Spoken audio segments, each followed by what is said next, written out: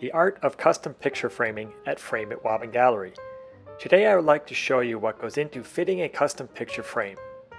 I start with a picture that I have dry mounted on a large piece of foam board and I place the double mat I have cut on top of it. I then line the mat up on the picture so I can trim off the extra foam board. The mat is held in place with a small amount of tape. This way everything lines up perfectly.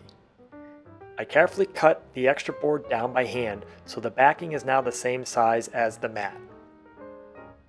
Next, I will cut a piece of UV filtering glass to go in front of the picture to protect it. The glass is cleaned and brushed off to remove any dust and lint. I carefully inspect the picture to make sure there is no dust under the glass.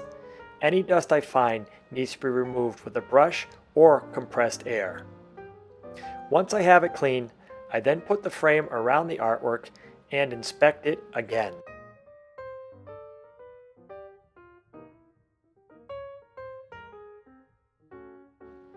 I put a few fasteners in the frame to hold it together while I check to make sure it's clean.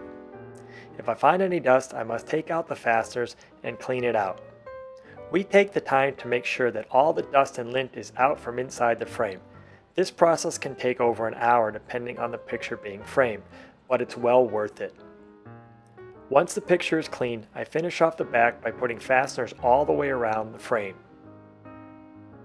Double-sided tape is applied to the back of the frame so I can attach acid-free dust jacket paper.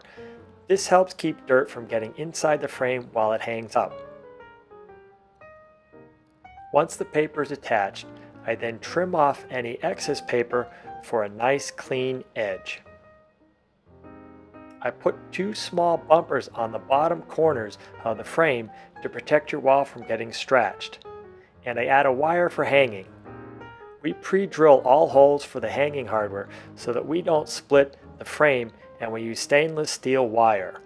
Once the wire is done, the final step is to clean up the corners of the frame. We use a colored cream to blend into the frame corner so that you can't see where the frame was assembled.